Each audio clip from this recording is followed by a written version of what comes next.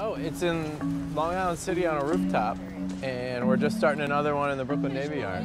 Yeah, we got one acre up on a roof, and we're starting another little over an acre, even as we speak. And they keep the building cool, right? Is that Yeah, yeah, exactly.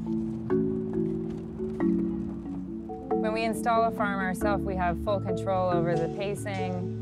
It's faster, it's cheaper, but it is more of a headache for us because we're literally operating a big construction site.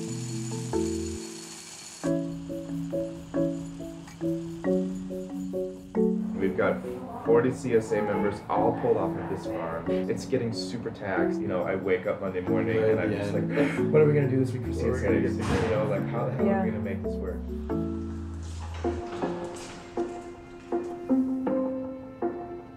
The city itself has made it possible for us to do this by being so overbuilt and having all these impermeable surfaces that need sponges on them.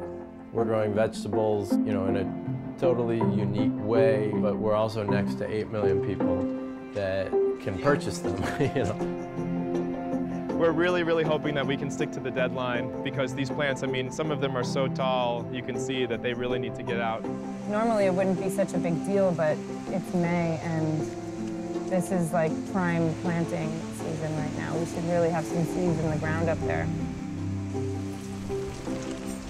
The plants are ready to go. You see some elements of stress on them. These plants are, are definitely root bound. As soon as the soil is there, we'll be transplanting, rain or shine. If this farm doesn't get built and if we're not making money off of it soon, we're actually not going to eat this summer.